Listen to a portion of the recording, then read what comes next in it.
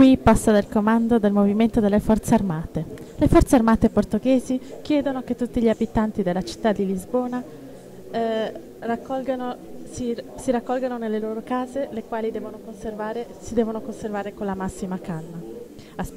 Sinceri, speriamo sinceramente che la gravità dell'ora in cui viviamo non sia tristemente segnalata da qualche incidente personale eh, per cui chiediamo il buon senso dei comandi delle forze militarizzate eh, affinché siano evitati confronti con le forze armate.